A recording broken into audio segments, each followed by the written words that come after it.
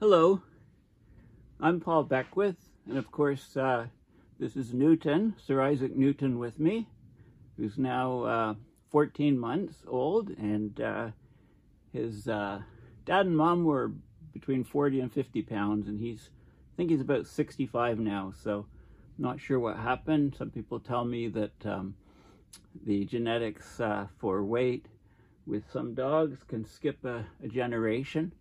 I guess his grandparents were huge. I'm going to talk about the um, Sargasso Sea or Sargassum, the um, pelagic, meaning on the surface, algae that forms in these huge masses. And uh, there's a lot of it right now in the, uh, you know, extending all the way in these bands from Africa all the way to the Caribbean. Um, there's some concern in Florida, for example, that it will run ashore. You know, Florida is experiencing red tides right now. So I'm going to talk about both those things. The, the um, seaweed mass that is being tracked from space and also the, um, the, the red tides that we're, that we're seeing. Newton, do you want to say hello? Do you want to say hi? I think he just wants to get down. He's uh, pretty heavy on my, maybe he'll stay here while I'm filming this. I'm not sure. I might have to get up and, and lift him. You know, he might want his freedom out of the, yeah, he does. Hang on a second. You want to go out, don't you? Okay, go ahead. Go ahead. Okay, so this is an uh, article from just a few days ago. Um, University of uh, University of South Florida, St. Petersburg. Uh, U University of South Florida, St. Petersburg, researchers are tracking the seaweed mass that's visible from space. And you can see this brownish, reddish mat. These are sargassum masses. You know, they can easily um, just come ashore and trap boats, etc. So this is in the uh, Cayman Islands. Huge masses. And of course, they do have a big effect on the coastline because they block out all the sunlight. So if they're over coral reefs, the reefs can die. It depends on how long um, the stuff is there. You know, when it starts to decompose, it can produce uh, hydrogen sulfide, which is very, you know, bad gas. It's the reason why so-called natural gas has that smell, you know, it's 90 plus percent methane, but they put in some, you know, some uh, various uh, things. Actually, it's not hydrogen sulfide. They put in some chemicals, sulfur chemicals, to uh, make it smell bad so that if there's a leak, it warns you. Um, we should change that name, natural gas. It's a misnomer. Um, you know, it's not, it's, it's very harmful for the environment. Of course, the greenhouse warming potential is very large for methane. Okay, so there's this, um, so for the last seven years, there's um, researchers at the, the University of South Florida, St. Petersburg. They have a special oceanography institute to track um, an ever-growing accumulation of what most people refer to as seaweed. So um, many publications call it a blob. They call the floating sargassum bloom a blob, but it's really a belt. Um, it stretches now from the coast of Africa to the Caribbean, but it's not continuous. So the mass is about 5,000 miles long, which is twice the length of the U.S. It's visible from space. Um, what began as an anomaly in 2011 is now breaking size records. So they really want to understand, you know, what's what's going on with this. Um, you know, what are the causes? What are the consequences? I mean, they this guy um, called it um, a new normal. I don't really don't like the new normal. I mean, we're undergoing abrupt system change, going from one state to another. Um, there is no new normal.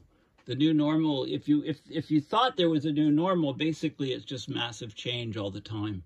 So, you know, the states are changing, depends on, on and, and where you live, the effects that you're seeing depend on latitude, depends on your, you know, your the geography of the region that you're in. Um, So before 2011, there was almost no seaweed in the tropical Atlantic or the Caribbean Sea.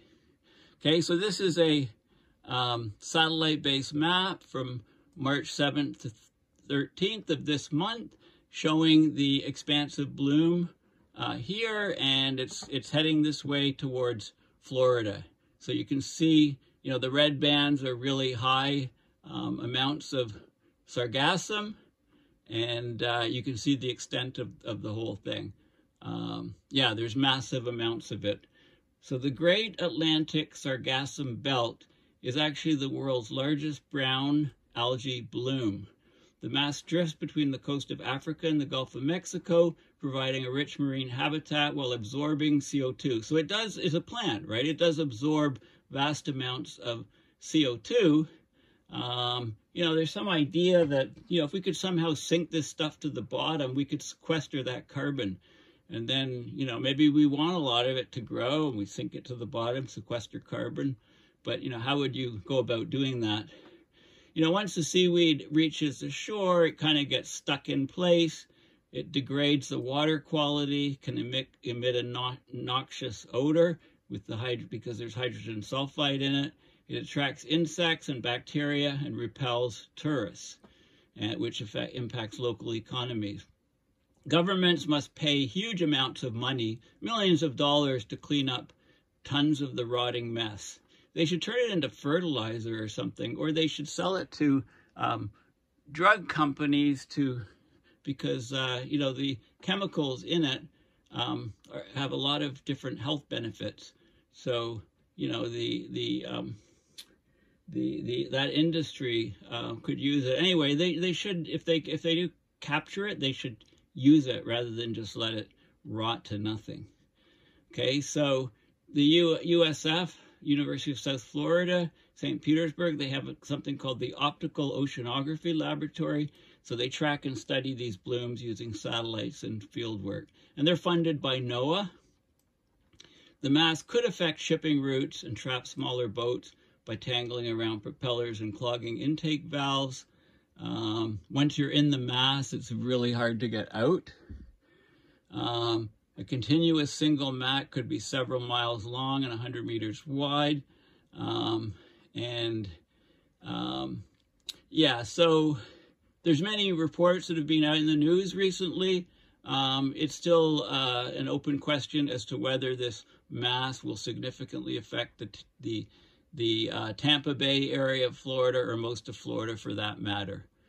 Um, Beaches in the Panhandle and south of Naples could experience some impacts with more along the Florida Keys. I wonder, I hope a mast doesn't go, remember that guy who's uh, underneath the water in the, in the Jules, uh, the Jules uh, Lodge?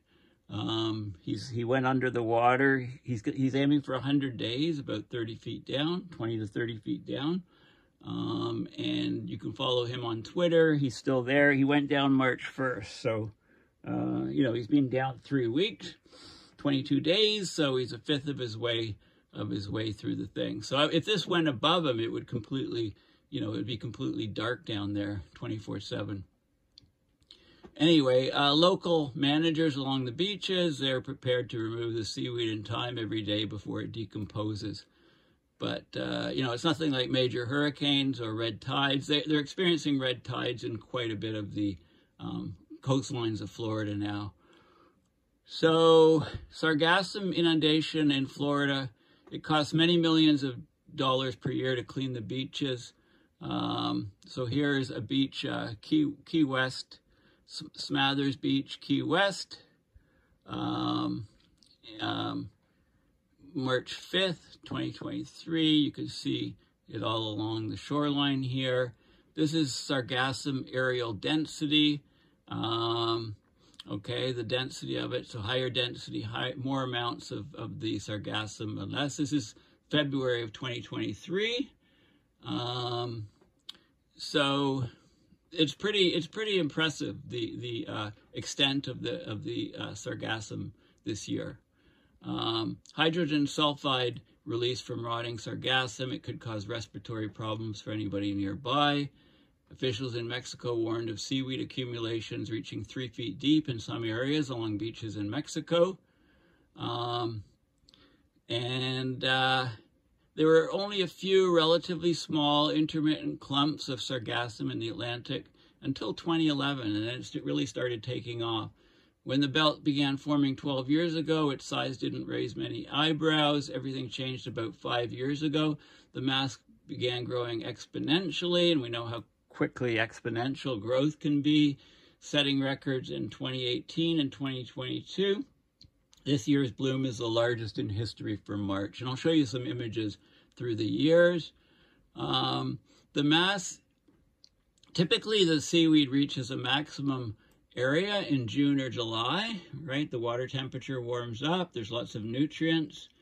Um, the mass increases annually on average. Um, basically, you know, climate change is a big impact because it's warming the water. It's, it's um, human influence, um, you know, not just by, by a climate change, but also the nutrients that go into the water, uh, phosphorus and nitrates and potassium.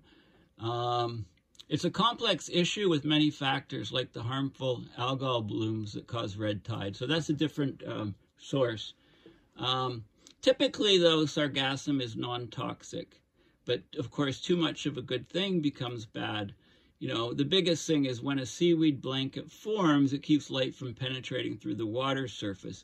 Marine life depends on light, so dead plants and animals absorb critical oxygen as they rot. So this is a problem from all angles um, right? If it sticks around on the shoreline, it can block all the light and cause tremendous uh, damage to uh, the life on the on underneath it. Okay, so it's a, a very double-edged sword. So let's have a look at some of the the data. I mean, this picture is pretty incredible. Okay, so this is the University of South Florida, the Optical Oceanography Laboratory. So there's some interesting stuff. You can just play around here and look at some interesting stuff. So this is the, um, basically, you know, what is, satel so satellite-based sargassum watch system. There's two main types here. Sargassum natans is this form here, you know, the spindly sort of stuff. And then Sargassum fluitans with the larger um, uh, little uh, buoyant pockets that are sitting on it. So, um, okay, so there's the two main types. Uh, this is a beaching event on the east coast of Barbados. Stuff can be super thick, can cost tremendous amounts of money to take take away. So the Sargassum Watch system, SAWS, uses satellite data and numerical models to detect and track pelagic, that's at the surface, sargassum in near real time. Um, so pelagic sargassum seaweed, it's a brown macroalgae um, floating on the ocean surface. There's primarily two species, S. natans and S. Um, S. natans and, and F. S. Uh, fluitans. Um, it's abundant in the intra-America Sea, the Atlantic, along the coast of the British Isles and mainland Europe. Um, okay. Uh, in the ocean, it serves as an important habitat. It's a floating habitat, so there's loads of marine animals that use it for, find food in it. They use it for shade. They shelter from predators. Uh, fish, uh, shrimp, crabs, and turtles are all within it. Sargassum may serve as fertilizers for sand dunes and thus protect shoreline stability.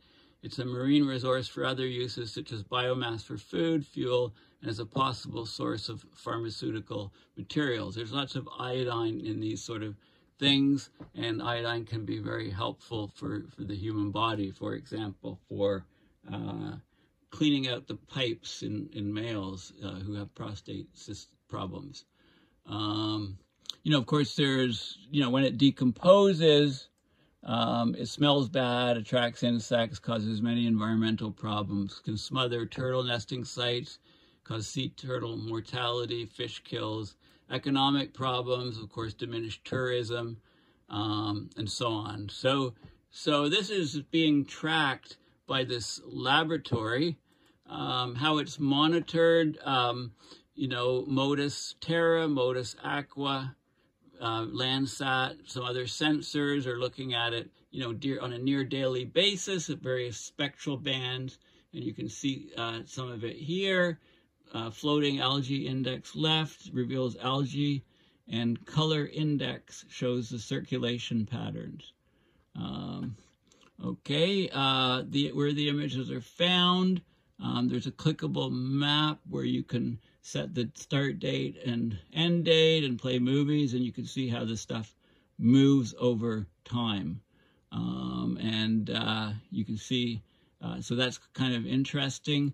Uh, ocean currents are also being monitored because surface currents are, are, what are transporting and pulling the stuff along. You know, once it's pulled along one way, the a lot of it follows unless it's the whole thing's ripped apart. Here's some photos of how sargassum is impacting the impacted the Caribbean. So some photos. So this is an airborne survey in 2015, spring and summer, Martinique, uh, sorry, uh, Cape Gua Guadeloupe, right? You can see the uh, sargassum here. This is um, uh, another image here. You know, you can see how it's much more thicker there. And any of the reef or or life underneath is severely affected.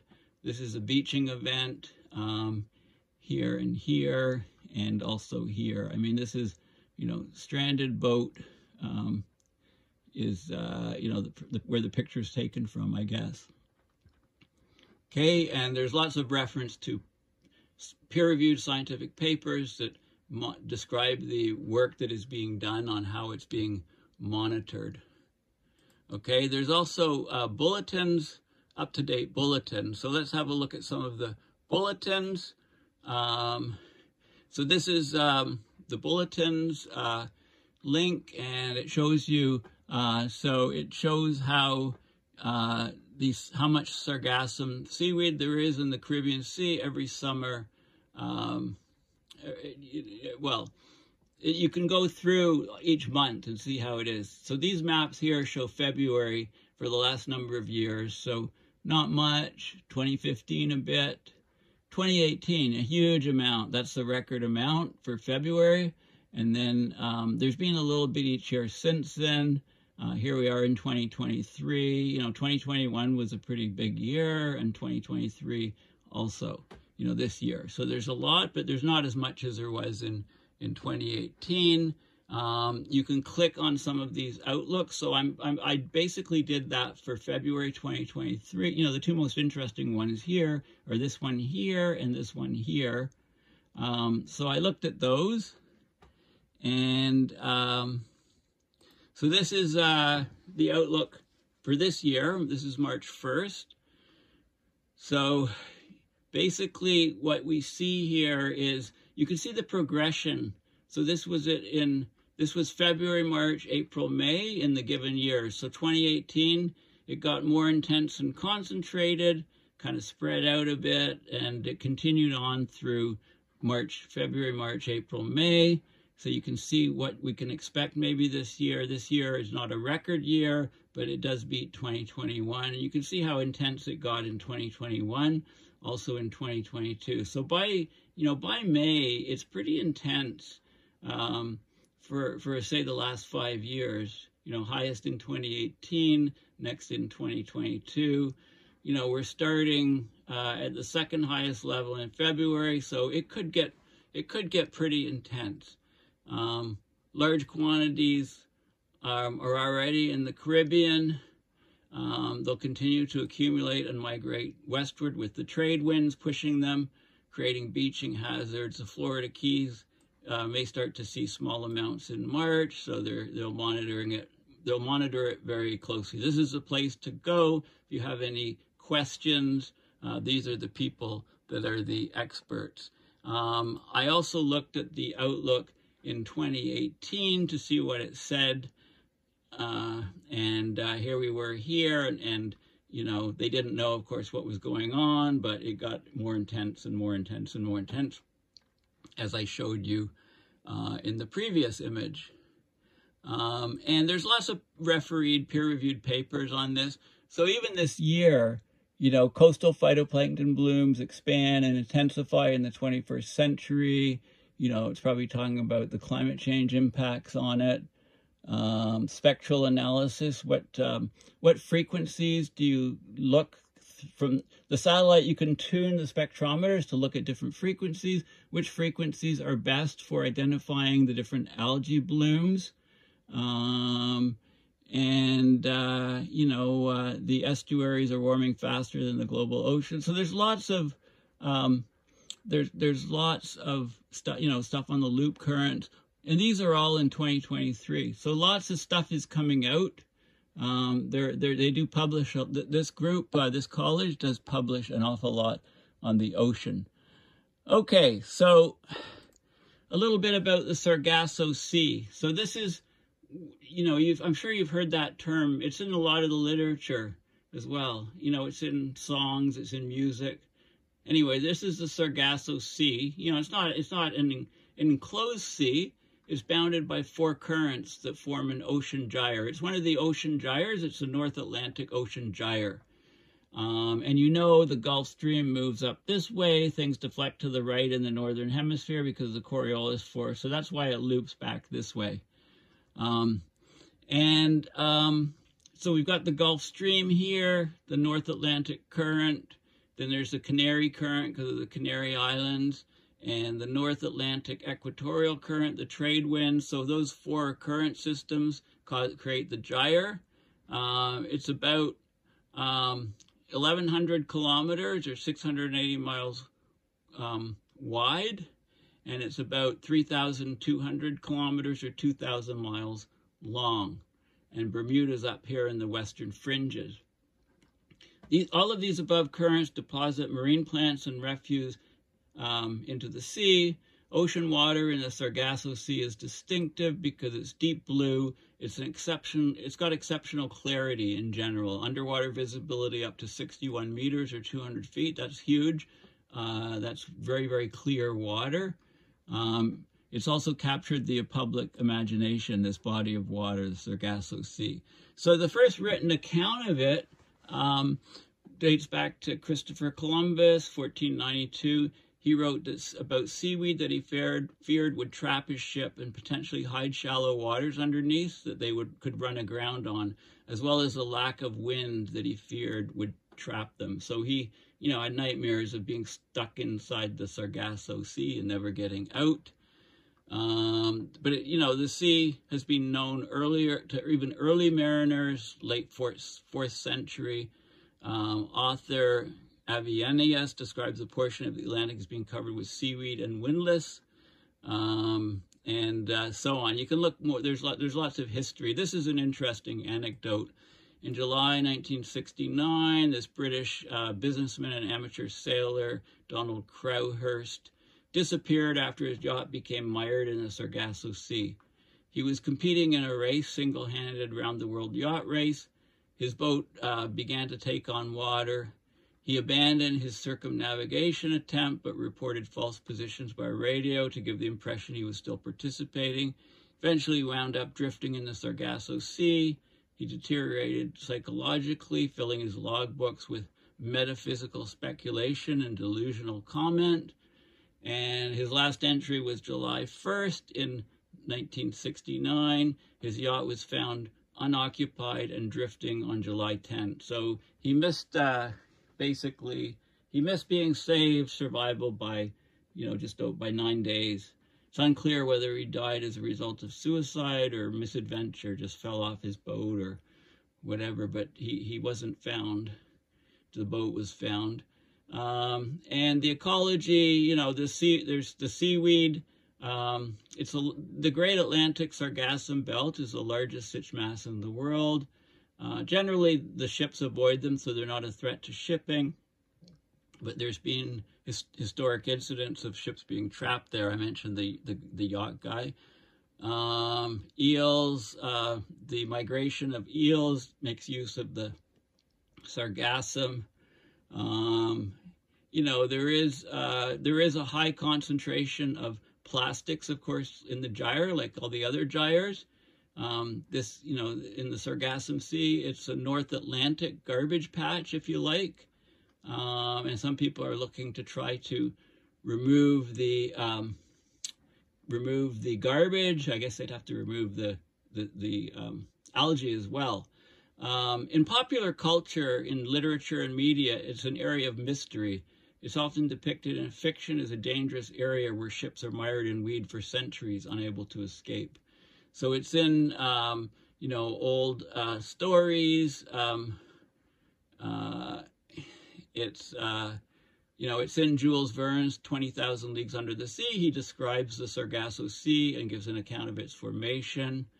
Um, it's in novels, it's in television, it's in music. Here we go. Uh, the eighth track of the 2023 album Time's Arrow by Ladytron is called Sargasso Sea. Uh, you know, the super Sargasso Sea, the wide Sargasso Sea, escaping Sargasso Sea. So it's in, it's, it's very much in, in popular culture.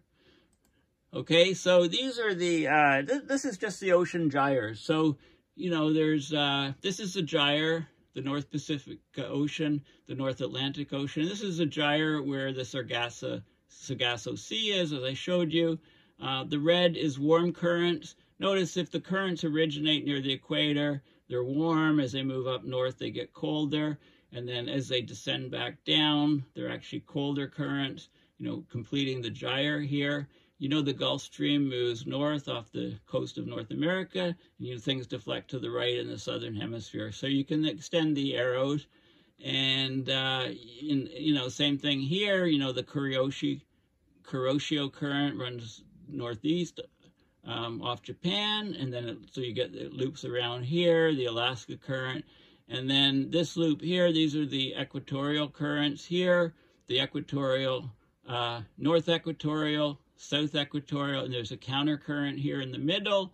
And of course, these are very important for the ENSO, uh, whether the water is pushed over to South America or whether it stays over and gets really warm off, you know, in this part of the ocean. And then in the southern hemisphere, things are, re are reversed. Things deflect to the left. So you'll notice the um, the motion of these currents here, and you've got the the Antarctic circumpolar current, which goes completely around the surface uh, because there's no land masses in the way. So if I gave you this map without the currents, you should be able to quickly sketch and come up with something close to where, where these arrows were. It's a good exercise to, to try. Um, so sargassum, the actual macroalgae or seaweed, okay, it's brown macroalgae, seaweed. Uh, you know, here's, uh, here, there's two main types right, which I showed you previously. And, you know, here it is. It's got all these little, they're almost like grapes. It's fun. I remember as a kid visiting the ocean and seeing these things on the beach. And then, you know, the funnest thing was to pop all of these guys. It's like popping the little uh, bubbles in, in bubble wrap. You know, it's the same sort of thing. Um, numerous species are distributed throughout the temperate and tropical oceans of the world. It inhabits shallow water and coral reefs, the, the algae. Um, you know, it's, uh, yeah, so uh, it's mainly um, cold water, water organisms benefit from nutrient upwelling, but the genus Sargassum appears to be an exception. Um, any number of the normally benthic, benthic zone is the bottom, the lower layers. So, so, so any number of the normally benthic species, they may take on a planktonic, often pelagic. The pelagic is the top part of the water column. Okay, it comes from the Greek for open sea. Um, and uh, yeah, so the Atlantic Ocean Sargasso Sea was named after the algae as it hosts a large amount of sargassum. The, the size of annual blooms in the Atlantic increased by over 100-fold starting in 2011 as a result of factors including increased fertilizer runoff of major rivers such as the Amazon and Congo. So lots more nutrients in the rivers flowing into the ocean. It's fresh water.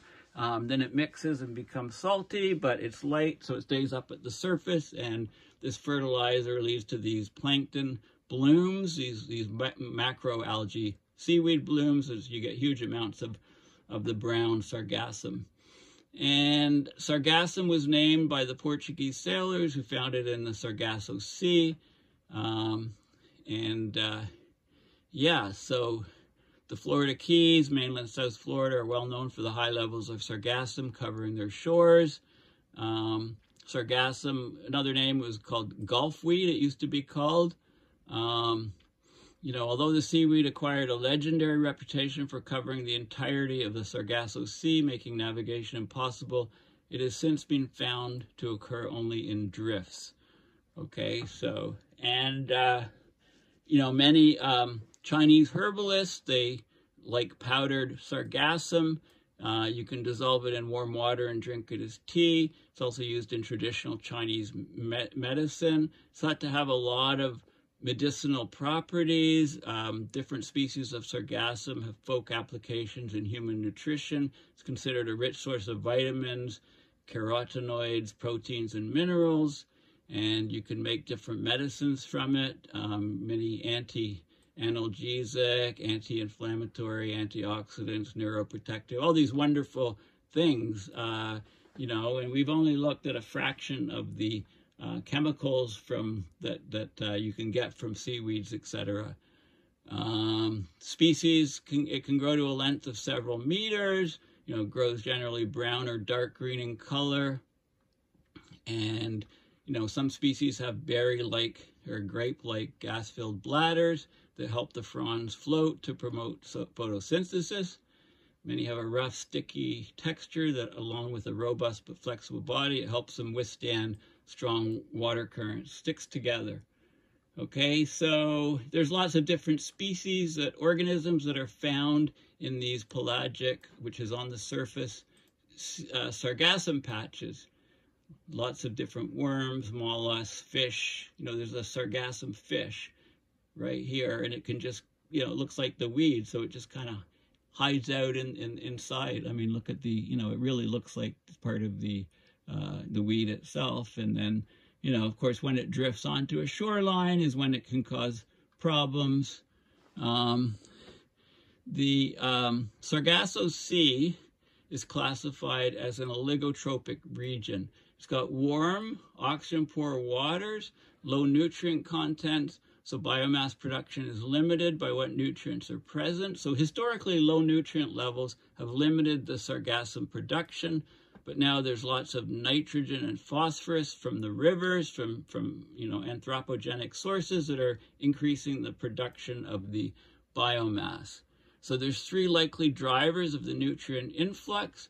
More nutrients from the Amazon River, you know, as, as the Amazon large parts, parts of it are cut down, and uh, more nutrients from the Gulf of Mexico and coastal upwelling from the West African coast.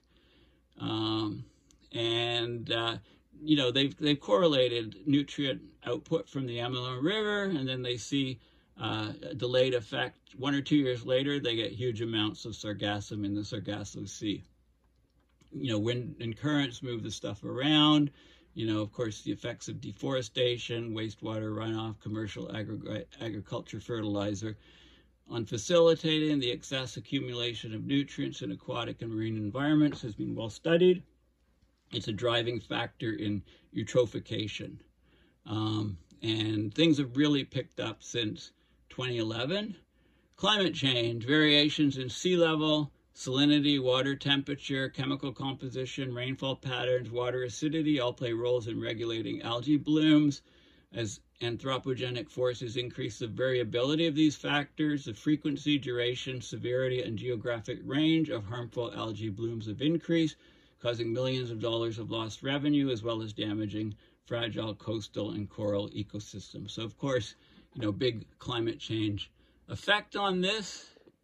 Um, and this is a recent article from just a few days ago talking about the seaweed blob, twice the width of the U.S. is heading towards Florida.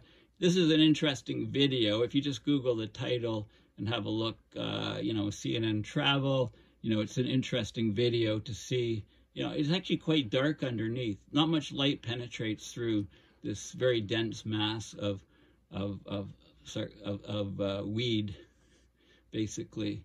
So you know, here they call it a giant blob, which is exactly what the Florida guy said. Don't call it a blob. It's it's a it's not a blob. You know, it's uh, it's a belt, if you like. So the sargassum, you know, and they talk about the massive accumulation since 2011. This year's bloom could be the largest ever, collectively spanning more than 5,000 miles, 8,047 kilometers from the shores of Africa to the Gulf of Mexico. Okay, it doubled in size um, between December and January. So there you go, exponential growth in, in a month. You know, if it doubles again, doubles again, doesn't take long till, you know, it chokes out a lot of the um, region. And that talks about the hydrogen sulfide that can be formed. It's toxic to people and animals along the coastline. This thing's affecting, you know, affecting tourism. How do you clean it up? Well, in Barbados, uh, the locals were using 1,600 dump trucks a day to clean the beaches to make it suitable for tourists and recreation. In shallow waters, you could remove sargassum by fishing nets towed by light boats or by hand. Um, in, U in the U.S., cleanup's often done with something called barber beach rakes pulled by a tractor. Once there's accumulation of more than a foot, the rakes don't work, so you need front-end loader dump trucks but then they can harm the beach. So, you know, you have sea turtles nesting on beaches. So it's a, it's a problem. Um, and then um, these things can also coincide with red tides. So red tides occur when toxin producing algae blooms grow so out of control they discolor coastal waters so they look reddish. Uh, red tide organisms can live on sargassum and be transported by it. So, so there's seems to be red tides all up and down the coast of Florida this year. Um, so, you know, and I looked on Worldview, I had a look off the Florida Keys. This is just today. And, you know, you can imagine, you know, maybe there's, you see some of the weed, but, you know, then again, uh, you know, this is just, uh, could be just, uh, you could just be seeing bottom features. It's hard to, you'd have to look from day to day and do a real study to see, um, you know, whether you were seeing the stuff or not. So just Google worldview and play around with it. See if you can identify, you know, areas of sargassum yourself. And I told you the red tide. A red tide is impacting lots of Florida. Um, and, uh, you know, uh, bloom levels of this Karenia brevis, it's a red tide organism, were recently detected in 24 water samples um, in a part of Florida. Um, the entire southwestern coast is experiencing red tide conditions. They began in October 2022 after Hurricane Ian um, and atypically persisted through the winter. Normally in the winter, the water gets colder and the red tide vanishes, but the water stayed warm. So the red tide, uh, you know, stuck around. Unless they get cooler weather, some significant winds that could blow it offshore and dissipate it, um, then you know it's, it's it's there, and it causes fish kills, etc. And there's here's some maps from the Florida Fish and Wildlife Conservation Commission uh, showing some of the regions, and uh, you know it can cause fish kills, respiratory irritation, etc., etc. So it can really affect. Uh, you know, here's a, here's a dead loggerhead sea turtle, sea sea turtle, sea turtle. Um, Okay, so, you know, it's affecting things. Um, you know, Beach Fest, uh, which is uh, scheduled for uh, April 15th, is being canceled due to red tide conditions. It does, it does affect people for sure. Um, and, you know, the governments, you know, they, they really don't like it, so they try to figure out ways to, uh, to get rid of it. So this is a, there, there's a red tide current status on the Florida Fish and Wildlife Conservation Commission, and it gives you current conditions, information about respiratory irritation, fish kills, etc. And I just look at the map here. Uh, this is a map, um, and uh, they, they, they, they update this, I think, just about every day. And you can see this is the Karenia brevis, um, uh, which is the um, algae that causes the red tides. Um, and you can see, um, so not present, you know, these, so they sampled all along the beaches here, none of it here. Um, the gray is not present, some of it on the Keys there, but a lot on the uh, coast, on, on the, the Gulf side of Florida. Okay, some red area is very high. That's greater than a million cells per liter in the water. Um, and uh, we can go over here. This area is zoomed on because of because of the cluster of all the, the measuring sites there. And if we go over here, you can see um, where you know there's problem areas. So here and here, presumably put signs on the beaches and stuff. So red tide is becoming, uh, you know, is is an issue, um, ongoing issue in Florida. So hopefully um, in this video, I've explained a little bit about uh, about the Sargasso Sea, uh, a little bit about the ocean gyres, and we're talking about one up here in the Sargasso, Sargasso Sea, talking about um, the, the uh, impact of nutrients, etc., on growing this stuff. Um, there's been large areas and exponential growth of the uh, sargassum um, since 2011 in a number of years. And uh, yeah, there's definitely a, a, climate change signature as the water is warming. And, you know, one of the big factors is with all this stuff floating on the surface, um, then, uh, you know, it blocks the light and it can cause a lot of harm to the rest of the marine life that needs, needs light to get through, to penetrate through the water to survive. So anyway, um, yeah, so this was suggested to me by some viewers that I should have a look at the Sargasso Sea and about what's happening this year and the connections to climate change. So hopefully I've done that. Please consider going to my website, paulbeckwith.net, and do donating to uh, to my PayPal to support my research and videos um, as I try to join the join the dots on abrupt climate system change. So thanks again for listening, and bye for now.